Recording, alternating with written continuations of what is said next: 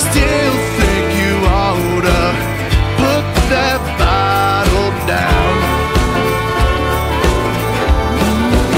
Mm, Walk on, baby. What's up, everybody? This is Sean Grant, and I'm your host this week on Inside Third and James. This week, uh, we sit down with legendary music producer Joshua Olsen, and we get to know uh, all the ins and outs of Third and James. Which, if you don't know what Third and James is, it's a record label, it's a community, it's a recording studio, it's magic.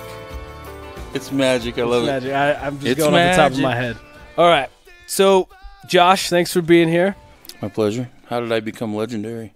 Uh, I don't know. Why don't That you? was one hell of a setup. Sean. Thank you. Thank you. For Thank that. you. Why don't you tell me how you are legendary? I feel like if we set them up with legendary, then everything's downhill from there. So we let's let's start with mediocre, and just maintain at mediocre, and then we can keep people excited. I say you're legendary. Okay, all right, I'll take it. Sean, by the way, folks, is uh, is uh, is a member of Denver Mega Band. Um, I AMC. mega band. I, dude, I, I'm sticking with Mega Band. You're legendary, and I'm in a mega That's band. it. That's it. We've completely fooled these people. So, um, what's your your backstory? Um, who are you, Josh? started music in the church. Uh, my dad's a preacher, and not just a preacher. He started new churches, so we um, just by necessity had to learn how to play an instrument because there was nobody to play music in the church. And so my sister and brother both learned how to play stuff. My sister is an incredible guitar player.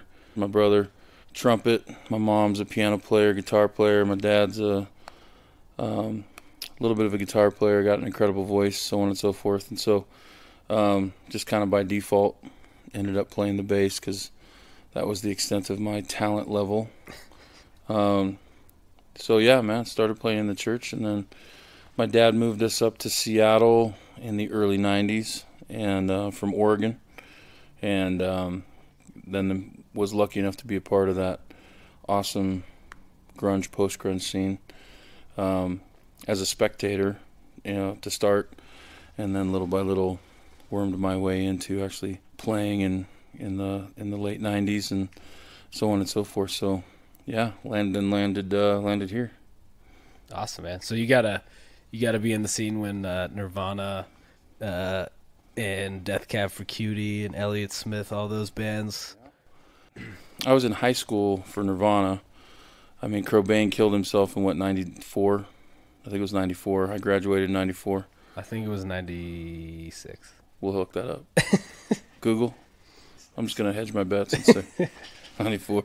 Um, yeah, no, I started playing music, like uh, like getting paid to do it when I was like 19. So that would have been like 94.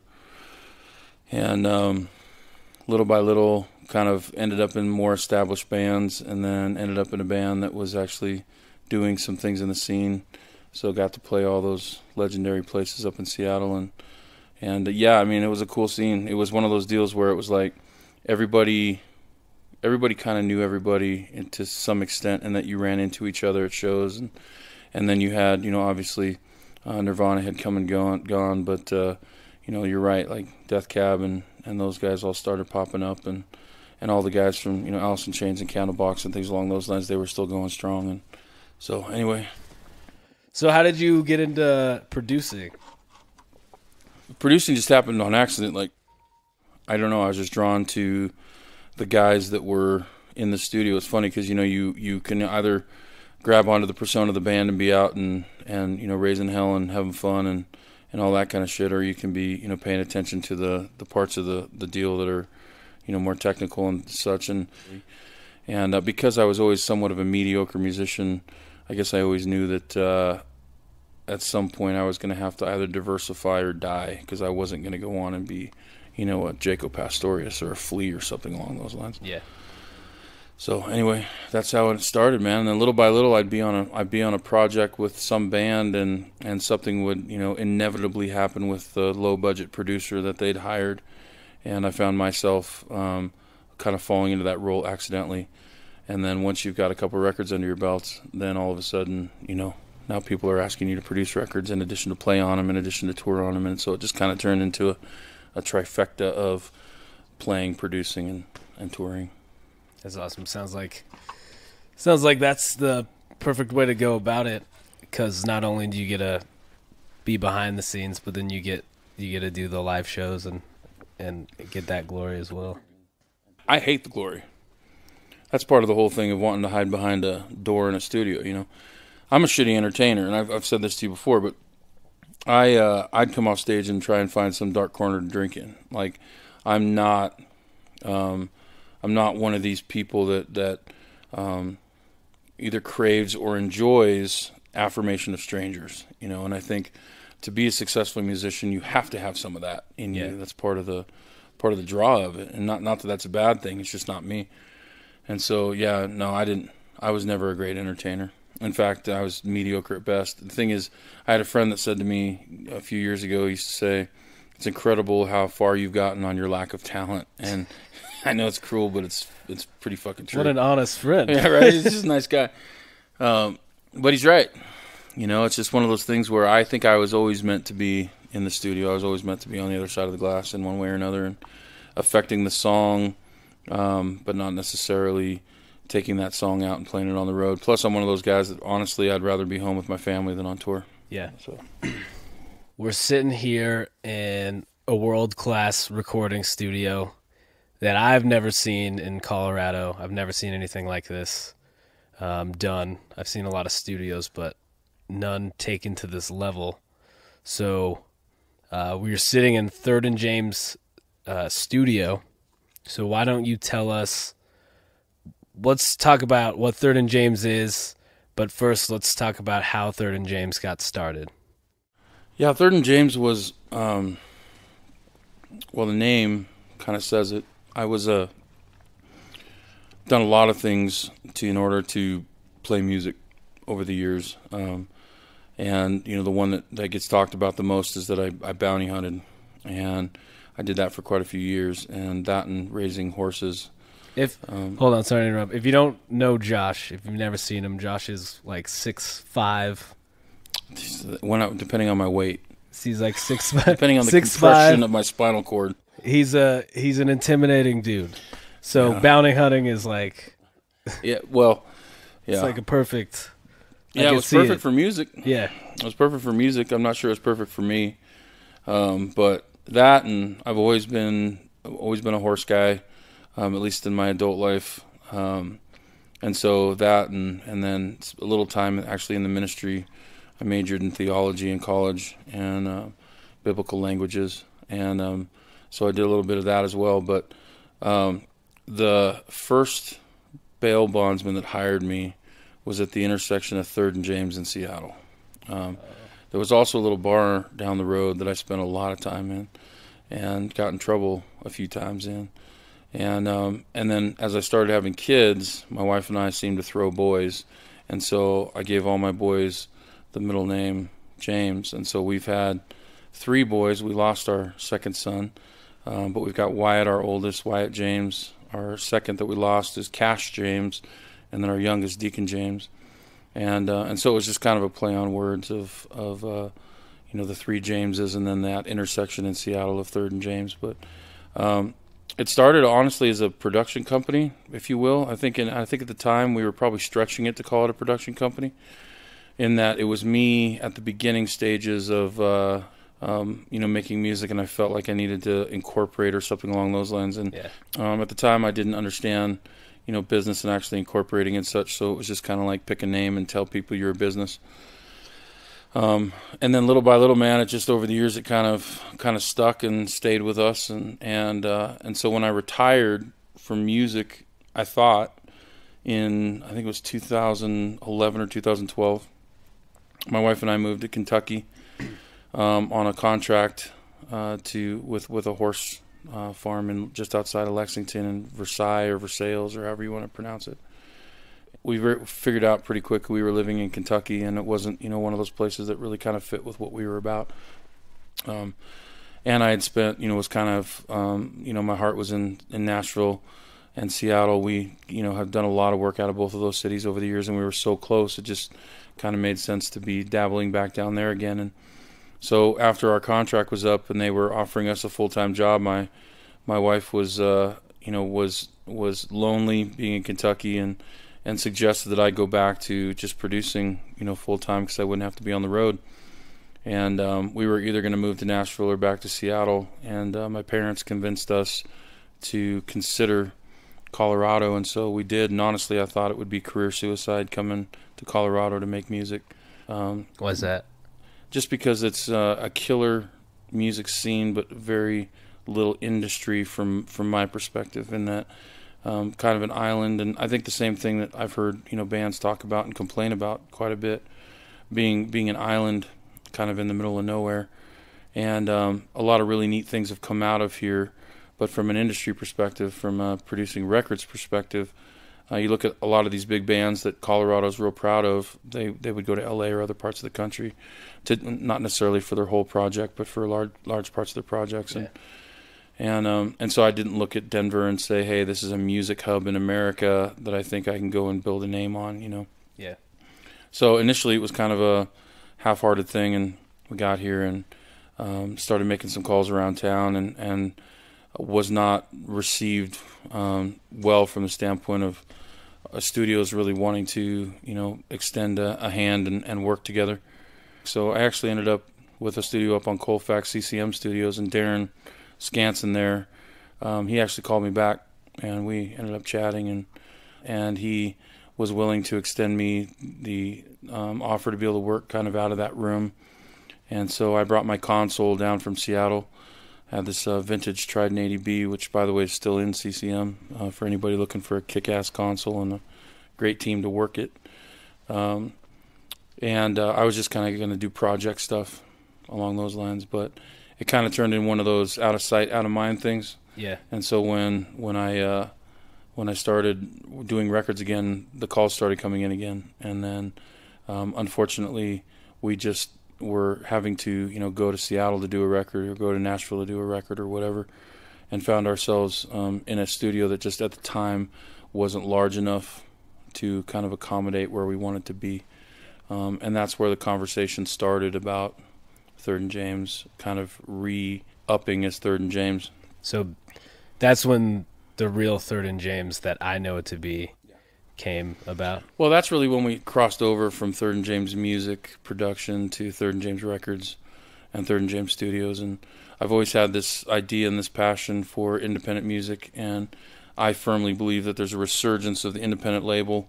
And um, and we didn't want to do some fly by night thing, so we you know took a lot of time to, to talk about it um, and kind of strategize. But yeah, so when we kind of separated, we refired up Third and James, and so not only is Third and James a recording studio, but it's also now a record label. Yeah, I mean, actually, really, what we are is Third and James is an independent label that has a recording studio. Okay, so yeah.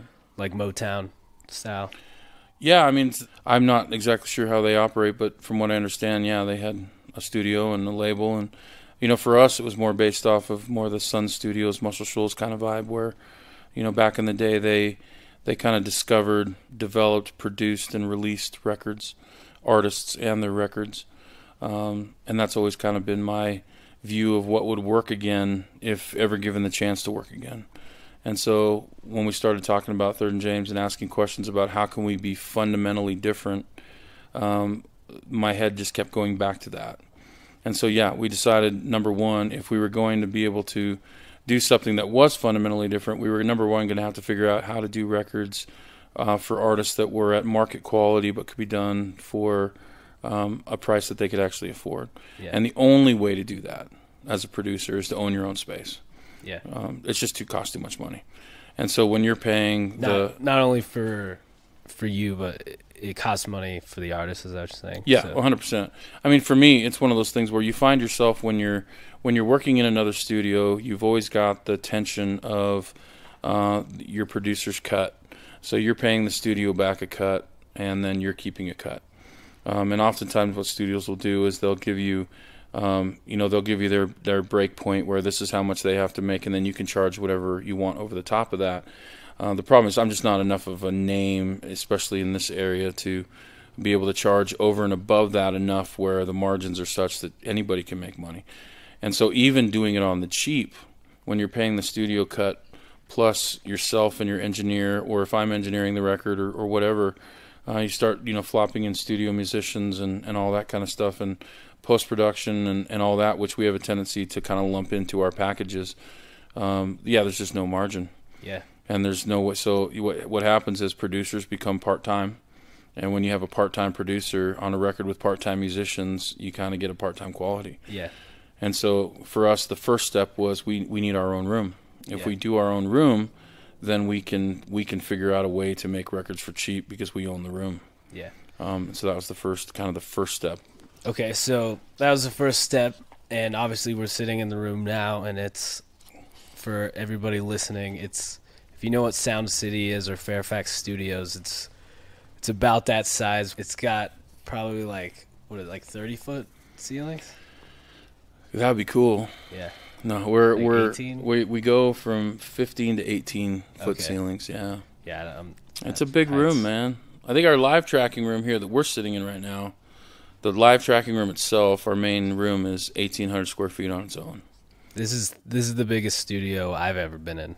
I I mean that's not saying a lot, but I love that big room vibe, and I love the ability to, you know, like David Cobb's got, you know, RCA Studio A, and you can kind of just set up in there, and you watch those videos of those guys doing records in there, and it's almost like they're like tent city, you know, they're Yeah. just all set up in there, and, and they leave their shit, and they just they make a record, and um, I've always loved that vibe, and and been lucky enough to record in some of those awesome studios that are are big.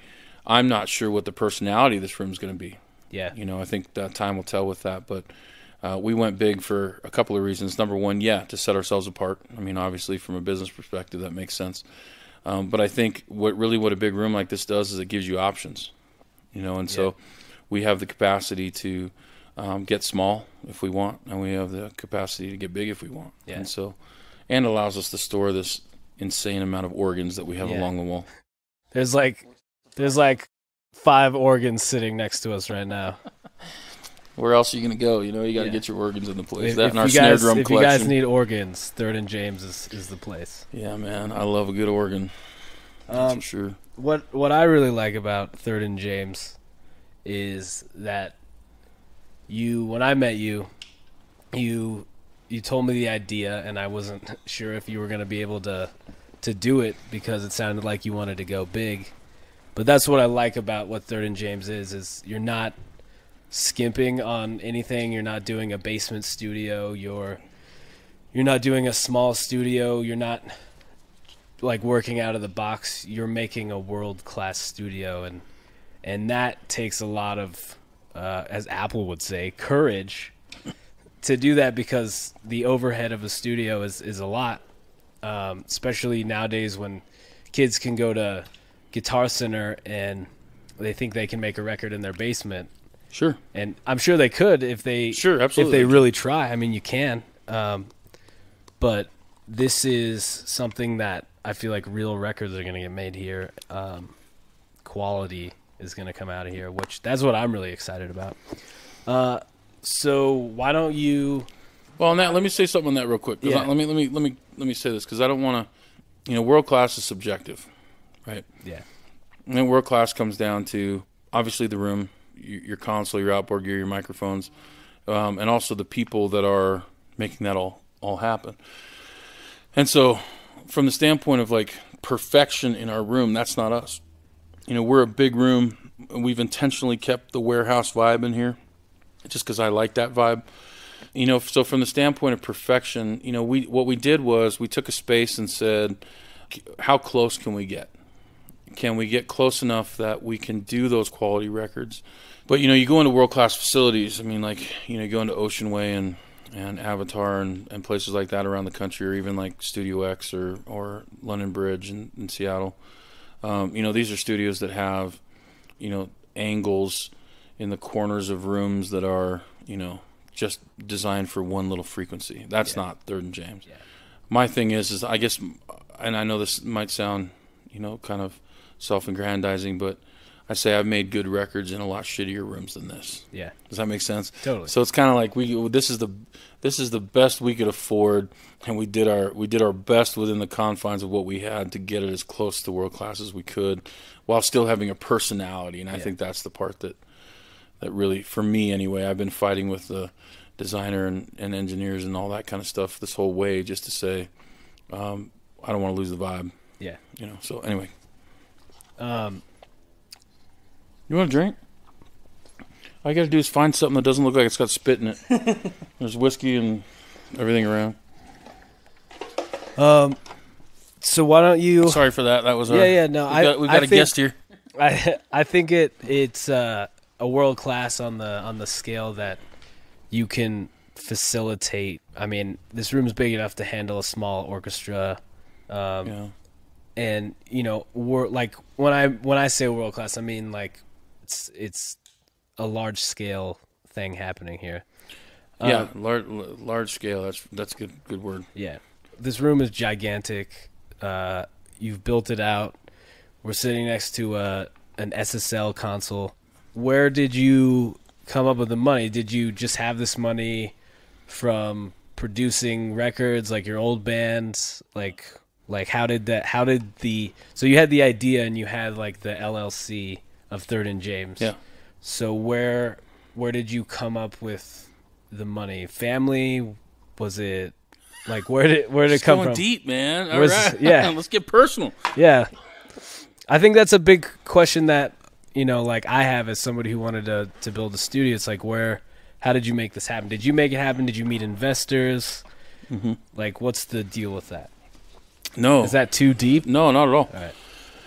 In fact, we've heard we've heard varying versions of the, of some story um, multiple times coming back to us on this.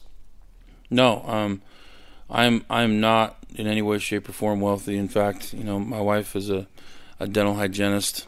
Um, I've been you know making music for a long time, but I'm not you know some level where I have back end points on Adele or something. You know, and yeah you know, getting all that kind of stuff. Nothing, nothing like that. Uh, really, how this started was it was. I, I don't want to say dream because that sounds cliche. It was a, a kind of a a vision of something that I thought was possible that I started putting in the ear of people um, around me, and I have a tendency to um, be passionate about the things that I'm passionate about, and and when I'm passionate about it, I want to I process vocally. I really, really do. Like anybody that knows me knows that. oh um, I, I know Okay. that I can I can tell a story or, or get on a subject and just you know the subject can be changed four or five times in a conversation and I'm still freaking you know completely focused on the one thing that I was talking about.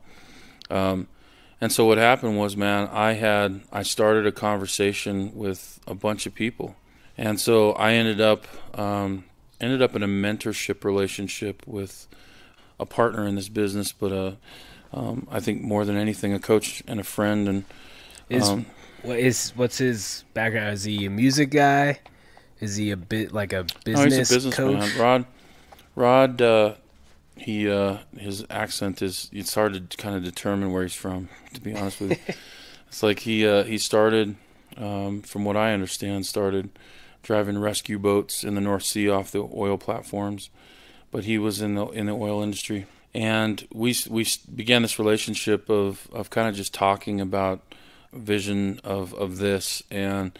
Um, that started getting bigger and bigger and bigger. And so he was actually mentoring me through the process of looking for investors, um, you know, all over the country, guys that I've done business with and such. In fact, Third and James um, had investors that were willing to do Third and James as long as we did it in Seattle. okay Um, doing it in Denver was something that they couldn't be involved with it, you know, really kind of on a hands-on kind of thing, and they all wanted to kind of be a part of the, the vibe of what was going on.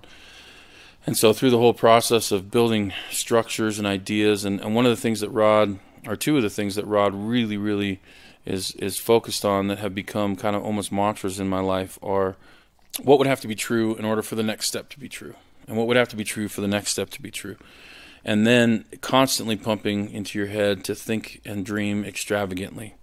Um, and it's easy to dream extravagantly and then say, "Hey, we have to break this down into reality." and his view of things is the exact opposite. Let's dream extravagantly. In fact, let's let's dream and cast a vision that's so fucking big that we can't reach it. You know, Yeah. at least in our, our as we perceive things now. We just Yeah. there's no way to get there. I'll tell you what, man. What's incredible is as we sat down and did that, we've literally achieved three quarters of the things that we dreamed extravagantly on Yeah. and and could not at the time have even considered.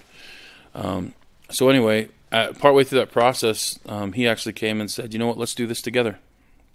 Um, um, we didn't get some million dollar loan or um, be granted money. My dad it didn't die; he's alive, as is my mom. There's no inheritance. Uh, we were extended a actually a, a relatively small loan uh, to get the process started, and then myself, Rod, and my my other partner Tony White, uh, who we'll have to talk about because that guy's freaking incredible. Um, we all put in out of our personal money equity, um, cash, and what we did was we found looked looked and found a facility and an owner or a landlord, if you will, um, who believed in the vision too. And and so we literally just surrounded ourselves with like-minded people. And so we started asking questions about, hey, what can we barter? What can we pay for? What can we do this? We're doing this grandiose thing on a budget that people would probably uh, laugh at. In fact, most of these guys in town that have studios probably have paid more for their studio than we did. Yeah. Um, we're not working with a with a crap ton of money. We're working with a great big dream and a group of people that believe in that dream, and we're surrounding ourselves with people who are invested and enrolled in that dream, and and we've m- figured out a way, man. You know, legitimately, and um, just because we've enrolled people in the vision, we did the demolition on this place ourselves. You know, we stripped these floors ourselves. We painted these walls ourselves.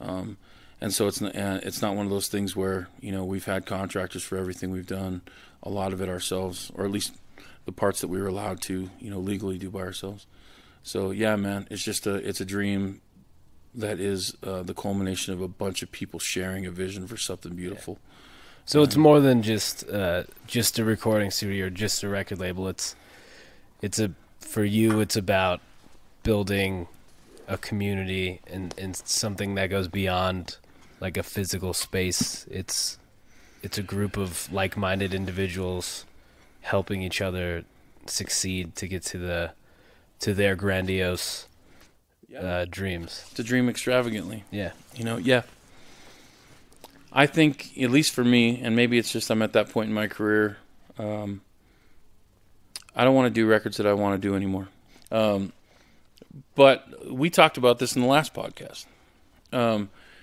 you know so we were talking community community community and sunshine james who an artist we just signed to third and james records um, he was on the last podcast um, he used the word together Yeah. and and that, that that struck me and it's actually stuck in my head this week. Um, we want to make records together, and so when you become an in-house guy at a studio, there's this dynamic, right?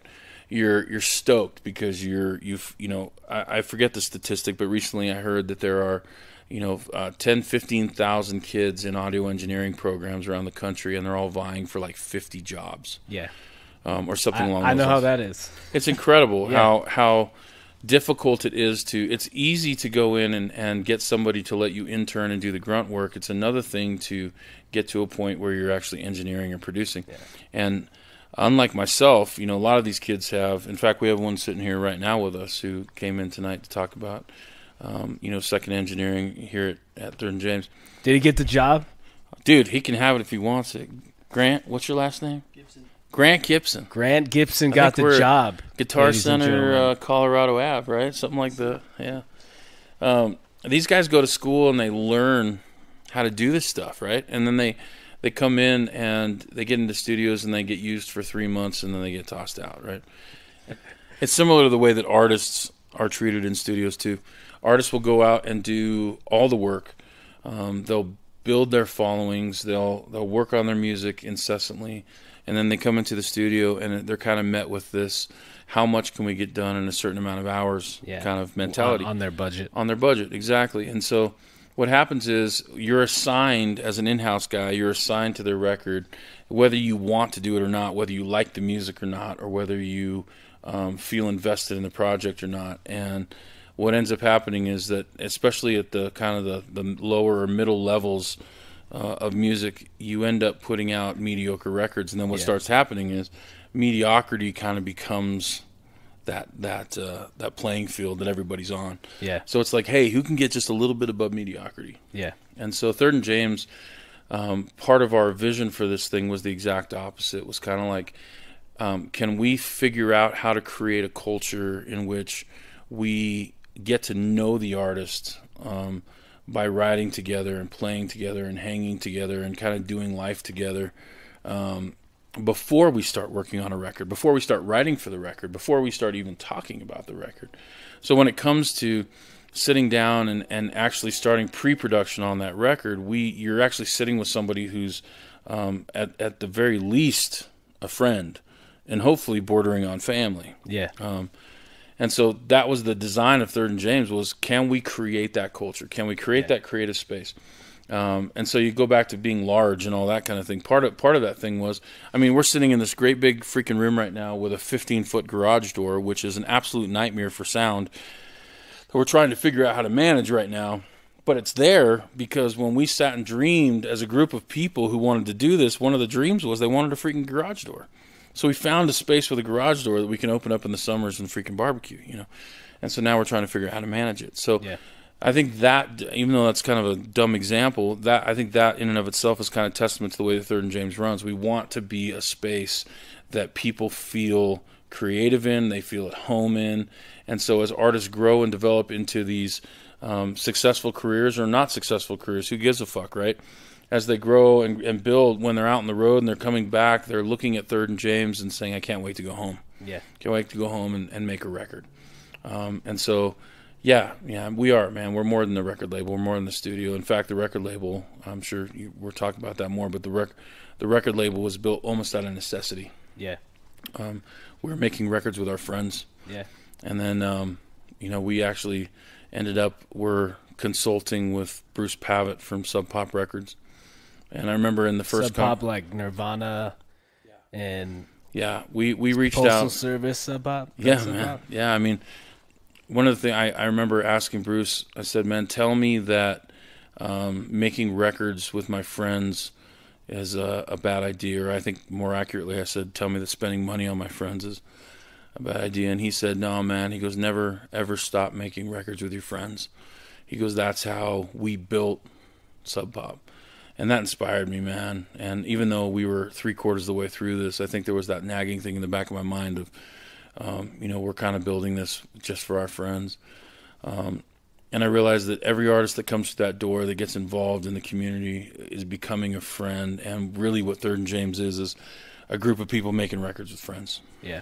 Um, and everybody's playing on everybody's record and all that kind of crap. So it's just, uh, it really is, man. It's community. And I know that's as cliche as you can possibly fucking be, um, but we mean it here. Yeah. you know? Well, well, in a time where community and social is thrown around a lot, but in reality, community and socializing with people is becoming more of a, a scarce thing because of things like social media, mm-hmm. where you think you're being social, but you you're really just isolating yourself and and putting out a picture of what you want people to see instead of how you actually are as a human Sure.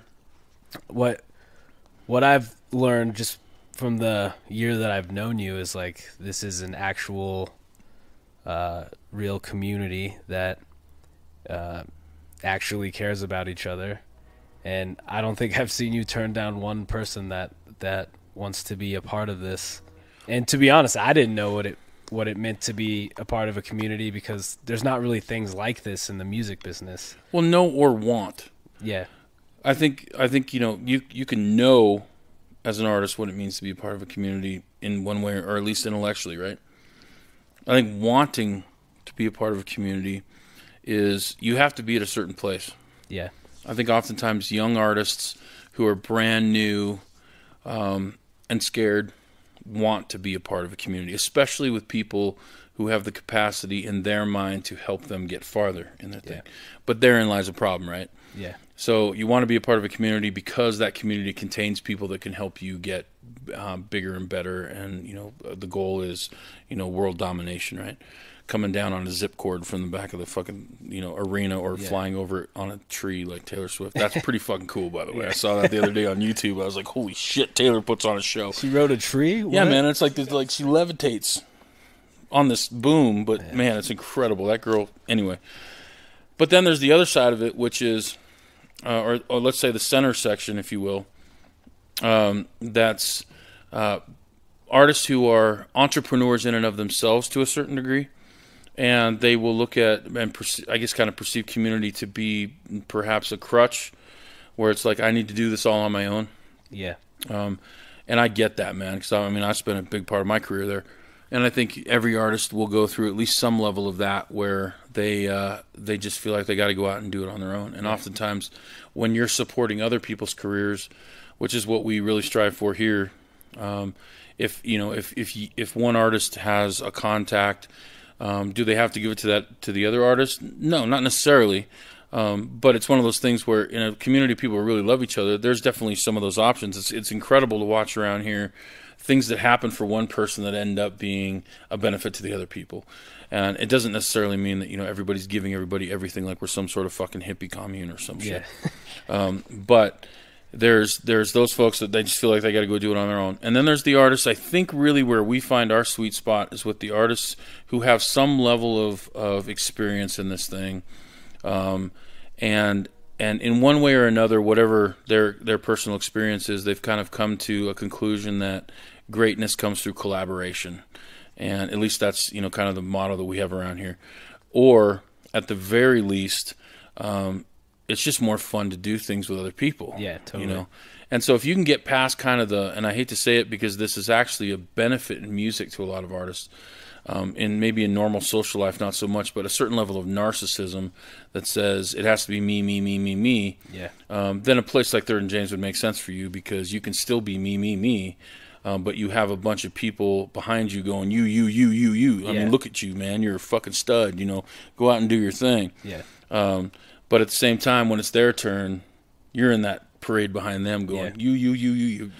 You know, and so I think that uh, you know there's a sweet spot. Not everybody's going to dig our vibe. Not everybody's going to want to kind of. Well, I think like to add to that, sorry to interrupt. I No. think it's with some artists there's the the me me me thing, but there's also the me thing because uh, there's some shady people in the music business, and just me being in a band, I've met some really slimy people, and if I wasn't cautious, I could be in some really bad situations, Mm-hmm. um, like finance wise or just my music wise, which totally.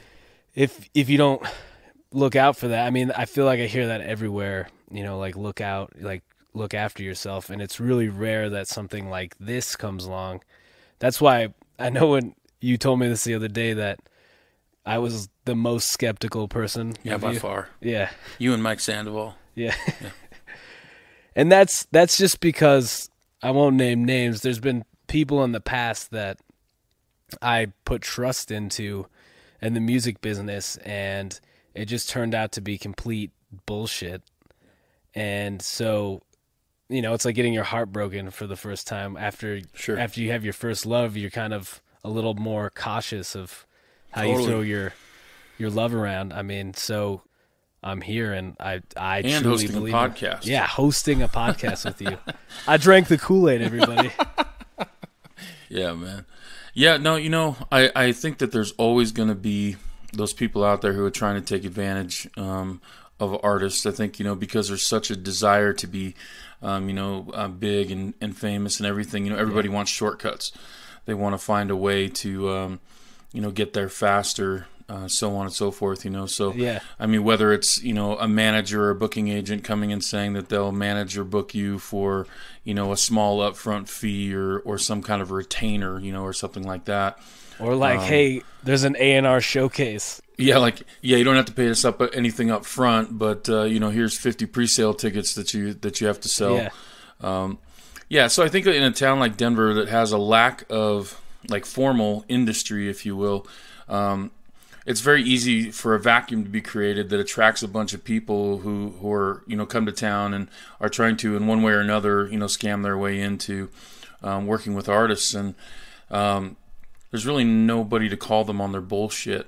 Um, and so it's just kind of trial and error and artists find themselves having to um, you know kind of learn um, with anything new. Like you know i mean we, we know that, that that people look at us too and wonder what the heck we're about and, and what we're doing. And and um, you know, as I sit with artists, it's it's funny. You know, we start to see um, that skepticism kind of uh, kind of um, fade away. Yeah. Um, as they get to know us and kind of get to ha- hang around and are you know in the community of music.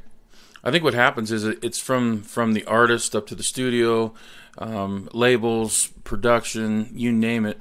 I think everybody's watching out for that kind of thing. You know, um, we're we're watching out for that kind of thing constantly. You know, as a label, we have you know people all of the time coming and trying to sell us on their distribution or mixing and mastering, or somehow they're going to be able to take us to one level or another that supposedly we couldn't get to on our own. Um, you know that sort of thing. We're we're all dealing with it. Yeah. But in a town that doesn't have um, kind of this standard, this industry standard that people can kind of look to and say, okay, well, I know that's real. Um, but I don't know about this. You know, this this doesn't look so real. Uh, what happens is we kind of all get compartmentalized into these little spaces where we feel safe, right? And we, you know, we we have a tendency to not want to work um, with with just anyone, um, or work with new people and so on. And so, um, you know, one of the things that's been frustrating for us in that regard is that, um, you know, in some of these other towns, you know, our experience has been that um, you know, if if like take for example this microphone I'm talking on right now goes out, um, you know, you can call up the studio down the street and say, "Hey, man, can I borrow your your, your Neumann? You know, I'm doing a, a vocal session," and they'll be like, "Yeah, man, we'll send our runner down," and uh, and boom, you're back to work again. Um, I, I haven't found that here, and I don't think that's Denver's fault. I think that's just a matter of um, the trust factor not being there because, like I said, there's there's no standard, and so um, you know, it's it's it's it's an interesting dynamic. Well, I'll I'll say it. Okay, when you when it, I Sean. First it. met you and you told me the idea of and James because it, it was it was just uh, and I really wanted it to be true. I just didn't know if I could buy in. Yeah, That's how anything at first is. Mm-hmm. Like people have to totally. to test the water and, and see if it's real or not. And especially in Denver, you know, like I didn't even know until you kind of explained to me that that's how other studios worked in different states Yeah, uh, or in, in industry towns where it wasn't a doggy dog type of no, is my studio and you can go F yourself if you think I'm gonna help you. help you. Yeah. Like just send your clients my way and that's how I'll help you. Yeah. No, man. I mean, and the thing is, I mean, I mean, don't get me wrong. In any industry town, everybody has an agenda. It's Yeah. the music industry. Everybody has an agenda. Yeah. So I loan you my mic. Yeah. I mean, next week, you know, I want two from you. Yeah. But but there's a, there's a there's almost like this like how would you say almost this imaginary Switzerland when it comes down to actually making music. There's this little space where everybody functions Yeah. you know and so granted everybody's trying to get that big budget project everybody's trying to you know be the spot where you know some big name does their their next you know number one hit so especially like in nashville you drive through nashville and they've got these banners hanging out in the front of the of, of the fucking studios and everything saying hey the last place where the number one hit for blake shelton was recorded i mean everybody's got their thing and everybody's you know um, publicizing and, and trying to trying to be you know but yeah man there's this space where it comes down to the nitty gritty doing the work Yeah. um, where the guys work with each other and It's friendly competition. as friendly as competition can be in a business context but um, and i'm not trying to put denver down in any way it just when i got here and was kind of looking at it it felt um, very compartmentalized and like this is my space and i have to kind of stay in my space um, and do records by myself because i'm not going to get that um, you know team kind of thing Yeah. in this town and so when we did kind of separate and come out on our own, like we talked about earlier, that was the picture of Third and James was we will be the place um, that will help. And so, like we've talked about with you, you know, by the way, people, Sean is producing now, um, officially, right? officially. He's hung out a shingle. Young Odyssey. Officially, yeah. He's working out of Third and James, which is just freaking awesome. Um, we want to be incubating brands. And so instead of being a studio that that tells you all the reasons you're going to fail if you decide to leave, um, or a label or, or whatever that's telling you why you're going to leave um, and fail, we want to be a place that says, "Dude, what can we do to be involved in you getting better?" Yeah. Um, if we could be a part of that conversation in 20 years, Yeah. the story of community and the story of bringing people together to make music, Yeah. to create something bigger than ourselves, then yeah, man, I'm fucking stoked. Yeah, I think that's, where the only way. I mean, I was I was really blown away when I presented you the idea of, "Hey, can I can I brand myself out of your studio?" Because most people would be like, "Hell no." Like this Mm-hmm. Yeah, is right. my studio. Like this Yeah. is my thing, and I, I really respect that because it, it shows more than than you know that it's it's not about you. It's about what's happening in the community Sure. and and that like I, it may it may seem on my part that like I I don't want to be a part of the community. I definitely do want to be a part of the community. Um, but it also I really appreciate that you're letting me uh like figure out my stuff inside this, Sure.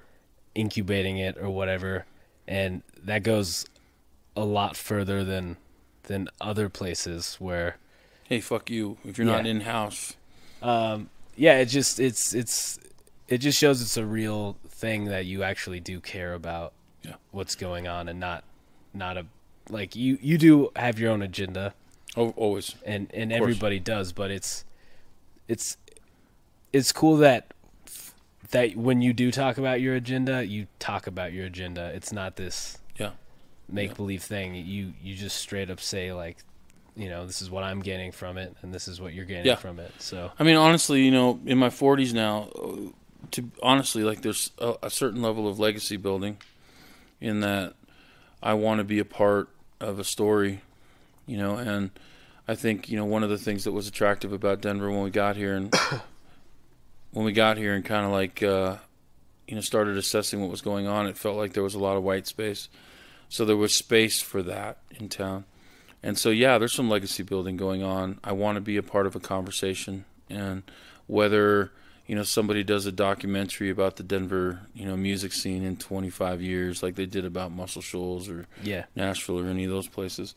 Um, you know, if I could be a little blip in that documentary, um, as a place that came in and said, "Hey, let's, you know, let's build something, let's do something together," I would be happy with that. But the way I see it, if if we've got killer producers, um, engineers, artists, but let's you know focus on the producer engineer thing here. If we've got killer producers who are um, building brands, um, you know, man, it just it creates this network of of excellence. Um, and if if we can be here and be a teaching facility uh, for guys that that aren't quite there, I'm not saying that we know everything, obviously, but you know we can coach and say kind of this is how we do things, and that takes uh, kind of takes them to a new level. Killer, or guys like you that are already good at what you do. I mean, if we can be a place that allows you to build yourself into um, you know something much much bigger there's a kickback on that in just just reputation there's a kickback there in regards to relationship and there's a kickback there in friendship and so for me I look at it and go if if Sean Grant you know goes out and produces you know eight Grammy award winning records how does the story of Sean Grant and Young Odyssey happen without the name Third and James somewhere in that story Yeah. you know and, and not Josh's name, but Third and James, and artists and, and engineers and, and people working in the in, in the way background. Um, all of those people can can can watch that or look at that with a sense of pride and and say, man, I was a part of that movement, and and I think that's uh, you know ultimately where I see the benefit being. I get where studios are coming from. Yeah. You know obviously if if you've got some guy that's in your studio that's working his own brand and taking stuff to other studios and and doing all that kind of stuff i mean yeah there's a bottom line financially that can be difficult. I guess i just look at the long game and say it's going to be much much much more beneficial for us. Um, i mean fuck beneficial much more rewarding for us to Yeah. to have those relationships. So yeah, man, that's we're incubating, and I mean that's a weird word, I mean, it's the right word. is it? Yeah. I just feel yeah. I mean I don't want it to be a demeaning word in any way, shape, or form, but giving guys a spot to do their music and do it well. Yeah. know? I mean hell, I'm doing the same thing, man. I'm a producer.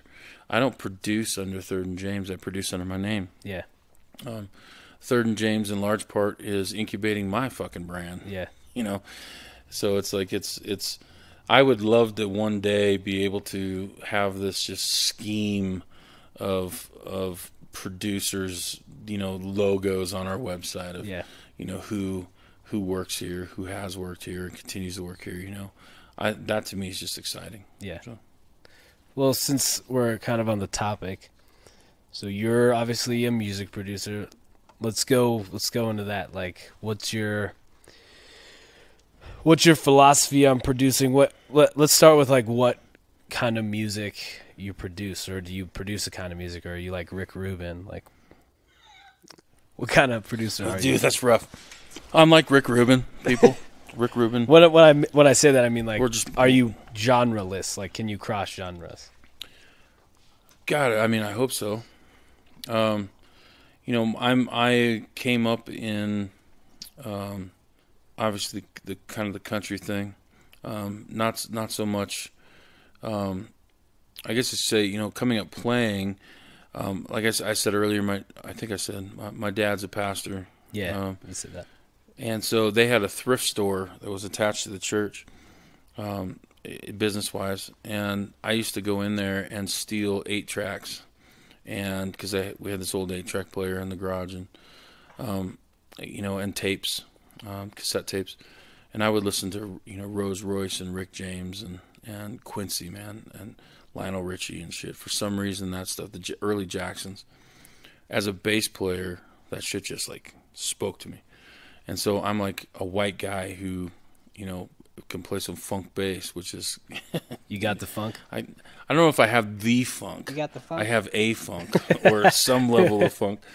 Um, but so I fell in love with the groove, right? And so coming up, I don't know how, but like I said earlier, working with really, really good producers really early in my career because things happened for us.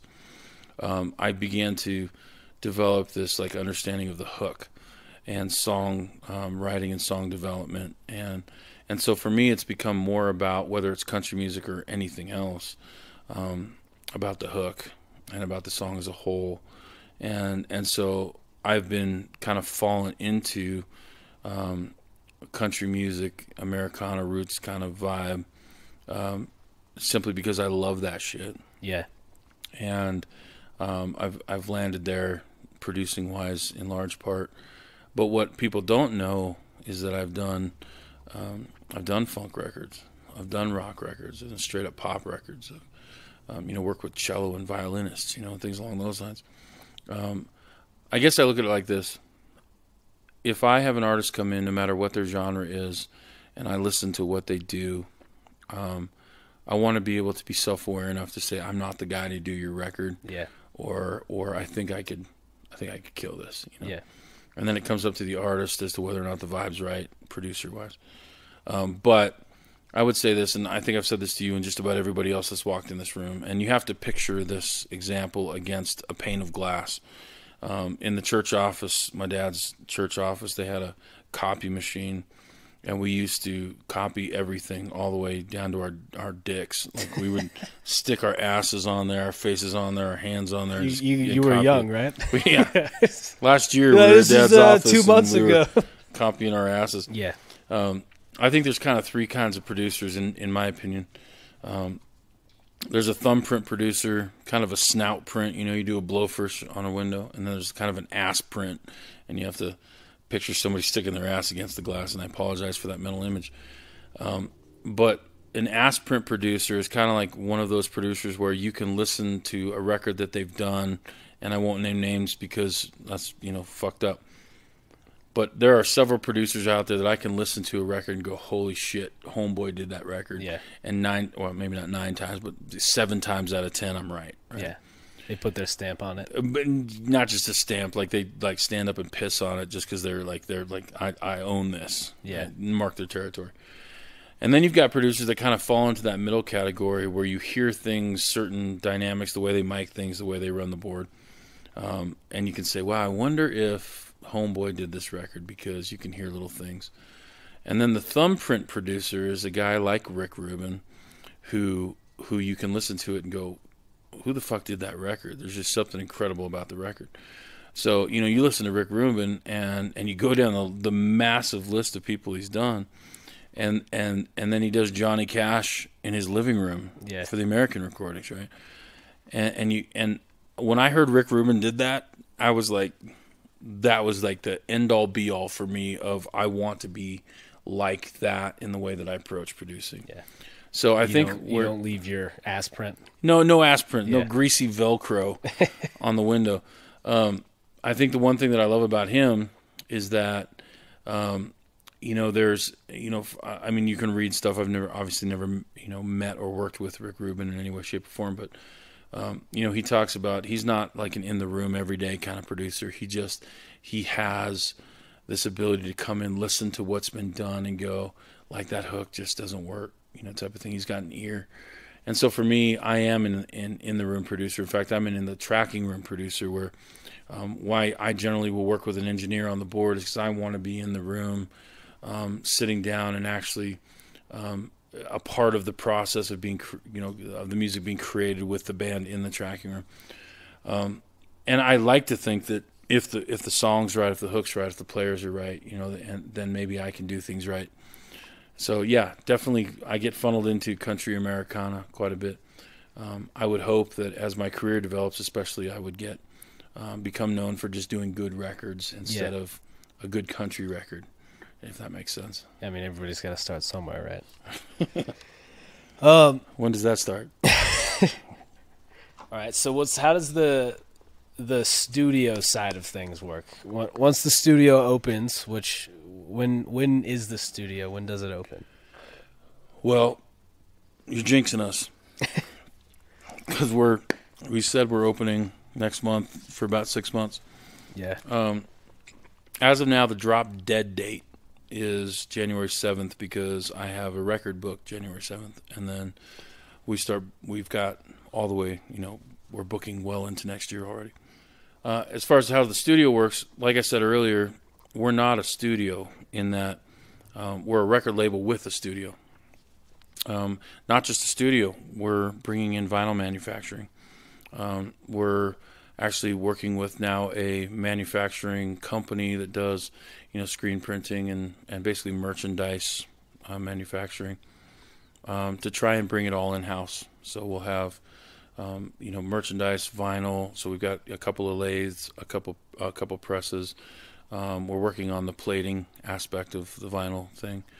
Um, so we're we're a record label that has a studio, that has manufacturing, that has vinyl. But we don't want to be closed because then all of a sudden we become some sort of fucking weird ass cult or clique or some Yeah. shit, right? Um, so basically, how the studio works is this: um, anybody is welcome to call us up and come in and sit down about their project. And we have a group of guys, including Sean, sitting here, folks, uh, but a group of guys who who are working out of the studio in addition to myself. Um, who, if they like love your shit, then then yeah, we'll do your record, you know. Um, but we're not going to be available for the the guy calling up and saying, "Hey, can I just get two hours?" Unless we have somebody that wants to do those two hours. Yeah. So it kind of comes down to you know, is there somebody here that's uh, that that's willing to kind of take on what you do? And I guess the dynamic is this: we want to make records that that we're passionate about, and we feel like if if we're not the right people to make your record, then there's probably somebody around, uh, studio wise, Yeah. who will make your record and do it better Yeah. um, than than we would because they'd be invested in your project. So we want to say every time we turn on that console, we're turning it on because it's a record we want to do. Yeah. So everybody feel welcome to come in and sit down and talk with us. And we've got guys that do everything for every level all the way the spectrum. So don't be afraid to ask and come in and, and set up a meeting and sit down with us. And and the bottom line is we're softies. Like if if we fall in love with you as a person, chances are we're probably going to figure out a way to make your record. Yeah. So that that's kind of how we work. Okay. What do we got? All right. So so that's how the the studio side works. How how is the the label going to work? Is it yeah, how's how's the label side of of Third and James work? Well, we talked about this earlier, but the label was kind of happened by accident and necessity, in that we were making records for people that we loved, and then they were going out and trying to, um, you know, put that record, you know, put you know, put the record out into the market and not having success, and and you know, we started looking. I think. Well, let me go back. The first question we were asking is, what, why, why, what's the problem? Why, why are things not working? And um, and we're all functioning within the context of the record label's broken. Yeah. Um, so we all know that the, the, the major labels are predominantly working off of uh, manufactured artists. You know, artists that they're That they picking and choosing. Yeah. That they can basically write all the songs for and Sure, dump some money in and then make their money sure. back. Or they're they're fishing out of the pond of artists that have are incredibly marketable that have publishing deals, um, and they're able to kind of capitalize on on their publishing deal. And you know, I mean, labels just don't have a whole lot of area to make money anymore. Well, in the in the 360 deal now where it's they take And I'm not. I mean, I'll be straight. Like 360 deals or like even third and James contracts. This level is some level of 360. Um, it's it's hard to work these days without you know 360 in one way or another. with with streaming and well, oh, absolutely. and Yeah, people I- not buying music. Yeah, I mean, I heard a statistic that stati- sta that's one of those words, statistic. Statistic. um, recently that that uh, man, I, I don't even want to put the percentage out there, but some huge percentage of artists in 2018 aren't even going to produce any level of, of CD or anything because it's you know it's all streaming. Digital downloads are now almost irrelevant. Here's the thing that people have to remember is that uh, major labels have entire digital departments that are that are literally dedicated to manipulating streaming and manipulating um, you know where their artist lands and and if you're dumb enough to think that they don't have some level of of agreements going on that, that takes one artist to this level or this level this level, then you're you're fucking. you mean like on Spotify and Yeah, all over. And but here's the thing too, the and I think I heard this on your podcast actually. I mean, uh, talking to you guys' management company, uh, um, Jason, Jason Jason. Martin? Jason Martin. Um, what was it? They had some artist that was at like three hundred thousand or 300, 300 million streams, and so, yeah. and and radio still wouldn't pay attention to him. I mean, you're talking about an overwhelming, overwhelming hurdle for an independent artist to get over, which is number one, building a, a, a truly organic following that's unpurchased on on on in, on social media, and and so many bands go out and they purchase followers and they purchase likes. What they don't realize is that we all have the software to see if they've purchased likes or purchased followers. Um, they're battling against um, club owners and promoters and everything that that want them to pre-sell tickets and all this kind of stuff. And so it comes down to where a band really only has their live show and their merchandise to make any money on. And the thing is that that trickles down to the label as well, um, where the label can make money, which is why the 360 is, is such a predominant thing in the industry right now. Um, so reality is, um, you know, the major label, the big four, you know, right? And I, I don't know if I've I've got these right. Universal, Warner, Sony. yeah. So one of the who's the fourth? No. No. Disney. No. Anyway, you've got so you got the big four, and they Maybe are it's owned, three now. Maybe. Who knows? Um, yeah, man. I mean, we get to the point where we don't even fucking know who's what. Maybe it's Disney now, right?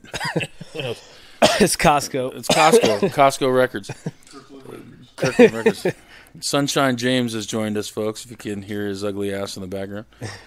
The point being that the major the major label has has has dominated the market, and so what's happening is is that in what I'm seeing is that the independent labels popping back up because there's still a need for artists to find tour support.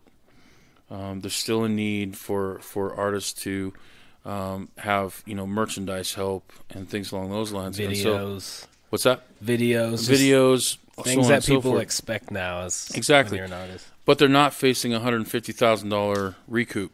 Yeah, right.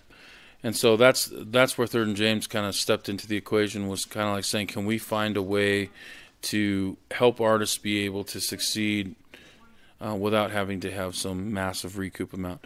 Which is why we are bringing in manufacturing. Why we built the studio. Um, we're currently in the middle of, of negotiating our distribution for vinyl.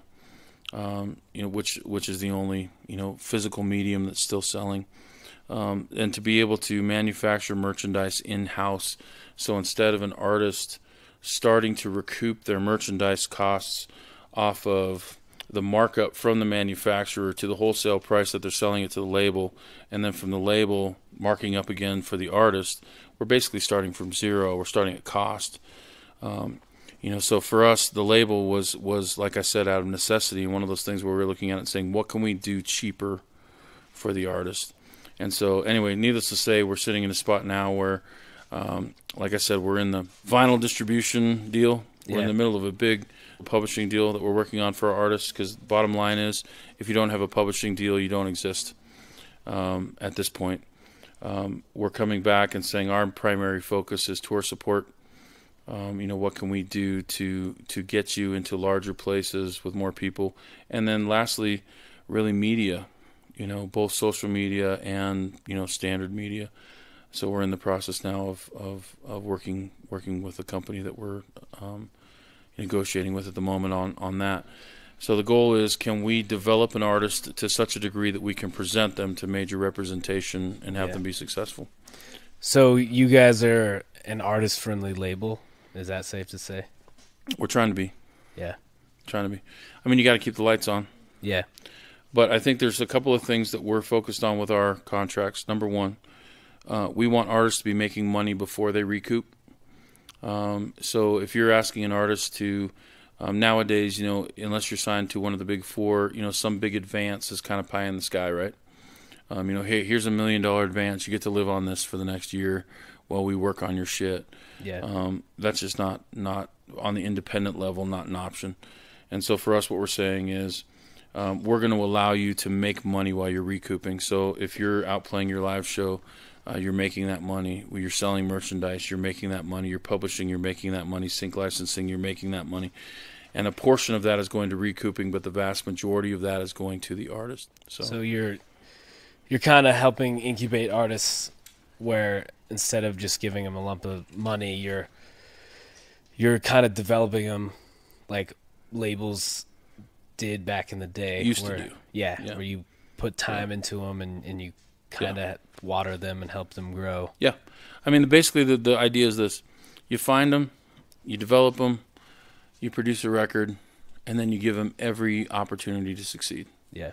And if we can do that by bringing having this big old studio that that can cost them half the price or even more than half the price to do their record, we can do their manufacturing in house. We can put their vinyl in house. We can get rid of the third party aggregate and distribute directly to iTunes and Spotify and Google and so on and so forth. Anything that we can do to help the artist be successful, um, that's where we land. That's the goal.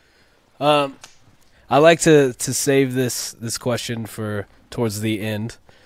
Um, what is some advice uh, you would give a young, since you're a producer musician, what would you give a young producer or musician becoming a producer? What advice would you give them? Hashtag the best plug in is plugging in the right microphone. Yeah, number one.